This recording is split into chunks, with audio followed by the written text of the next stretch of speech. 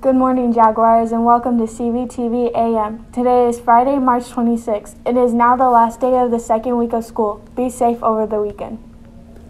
Calling all theater heads. Jags Theater Company presents Blazing Guns at Roaring Gulch, a Western melodrama play. Tonight at 7 p.m. and Saturday, March 27th at 7 p.m. in the PAC. Each ticket is $8 per person and there is limited seating, but there is a virtual way to watch the play. See Ms. Schroeder in the PAC and follow CV Jags Theater for more information. While you are sitting here watching this, just a friendly reminder to fill out your health screener every day. Speaking of friendly reminders, please make sure to stay in the JAG success that you are assigned due to safety protocols. The best way to ensure that you get the JAG success that you want is to sign up for that class. Club wrestling season is now on the go. For anyone interested in joining the wrestling program, come see Ortiz somewhere in the B Fort for some more information.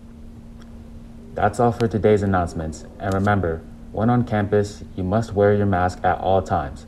Have a great weekend, Jags. Please stand for a moment of silence.